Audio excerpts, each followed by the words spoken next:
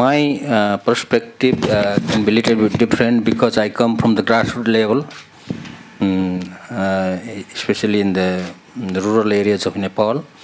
So for me, open and free internet, you know, uh, is you know it should be open and free, not only in terms of you know regulation or accessibility.